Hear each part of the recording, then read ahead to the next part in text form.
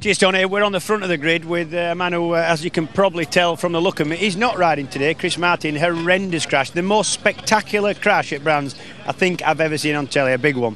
Yeah, especially a, spectacular one. Even living it, you know, going through the lot of it. It was a big one.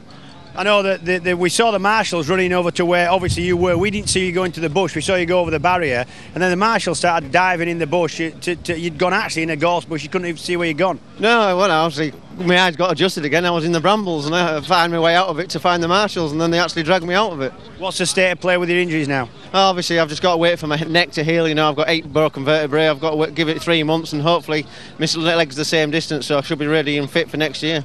Yeah, but shouldn't you be in bed now? No, not really. I've been in bed for four months and I don't want to stay in there any, uh, a month, sorry, and I don't want to be in there any longer. You look happy enough. Good luck with the injuries, mate. Yeah, cheers, James. Cheers.